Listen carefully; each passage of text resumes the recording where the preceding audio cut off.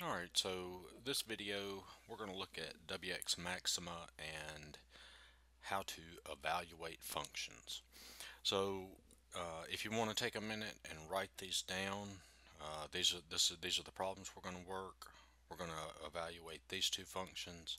We'll evaluate f of x at f of negative 3 and g of x here at g of 23 and this f of x at this f of this f of x equals 5x minus 3 at f of 7 and then g of x we're going to evaluate at g of 9 and g of 3 and we're going to do it two different ways.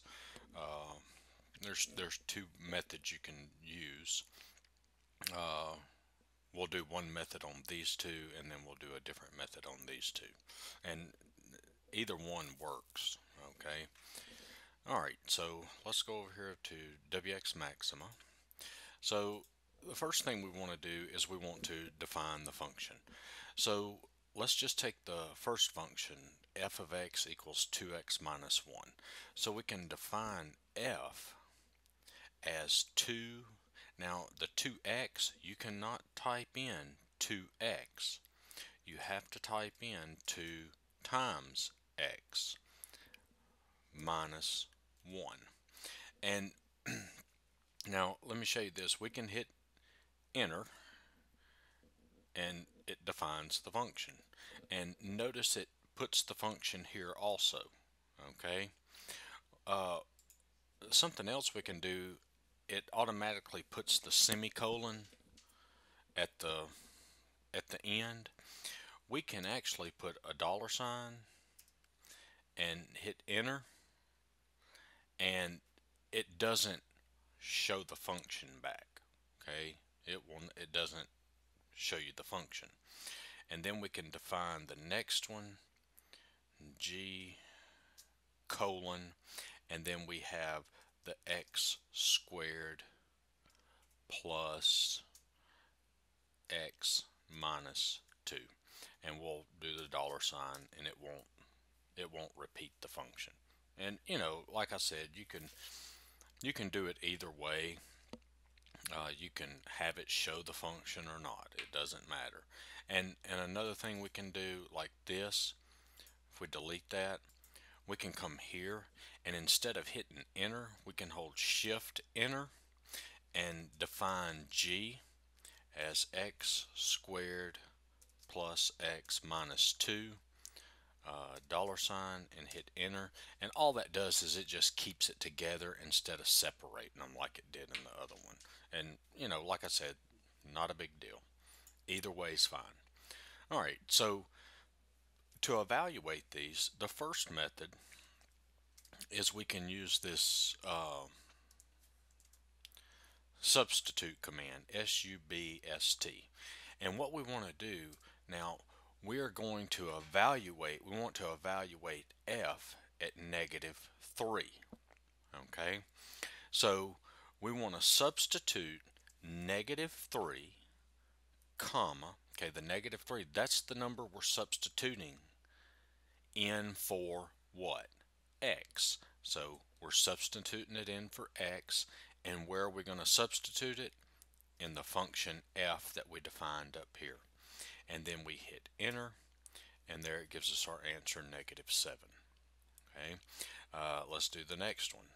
Well, we want to substitute 23 we want to find g of 23 so we want to substitute 23 in for x into the function g. Okay that's the number you want to substitute in that's the variable you're substituting it in for and that's the function you're going to substitute it in. Okay and we hit enter and that gives us the 550 okay so now let me show you the other way to do it uh, our other two functions. The first one was f of x equals 5x minus 3 so let's define that.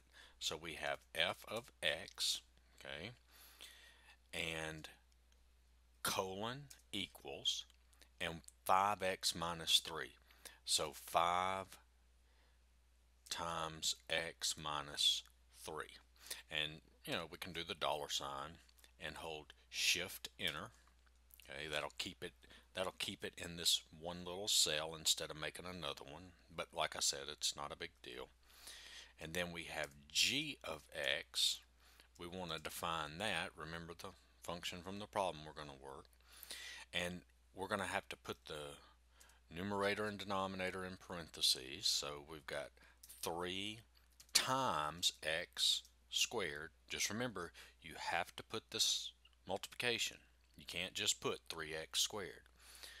Okay, then we have plus 7 times x minus 2 and then get out of the parentheses divided by and then in parentheses x squared minus 9 come outside the parentheses we can put the dollar sign and we hit enter oh, well, let's see what did I do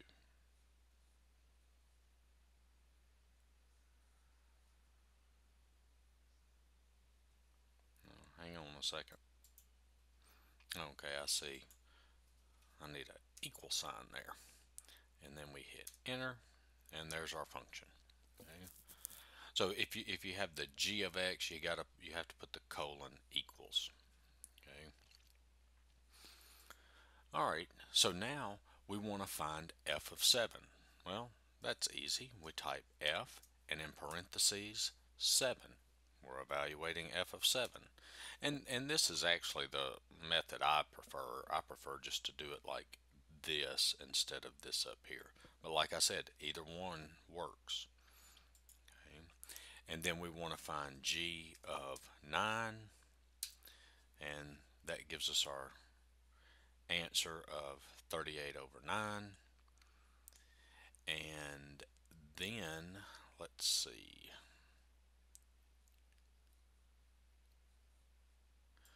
We want to do G of, and then we'll do G of 3. So let's hit enter. And it gives us an error message. And why does it give us an error message? Well, that's because this x squared minus 9. You see that? That gives us a 0 in the denominator. Okay. So I hope this helped. Uh, that's evaluating functions. Uh, check out my other videos and I hope they help and don't forget to like and subscribe.